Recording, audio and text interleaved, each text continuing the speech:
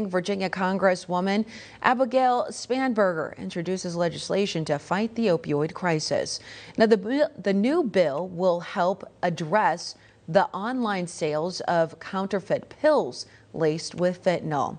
Specifically, it would require the government to investigate how fentanyl is sold online and address efforts to stop it. A report on the investigation would require in a year.